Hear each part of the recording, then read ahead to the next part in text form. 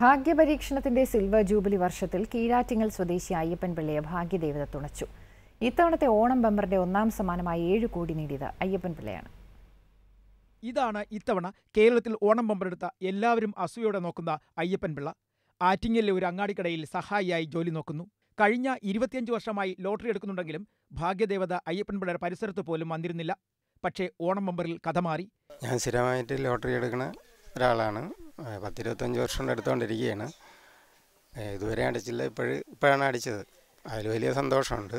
ഭാഗ്യദേവത വണ്ടി വിളിച്ച് വീട്ടിലെത്തിയിട്ടും ഭാഗ്യവാന് അമിത സന്തോഷമൊന്നുമില്ല.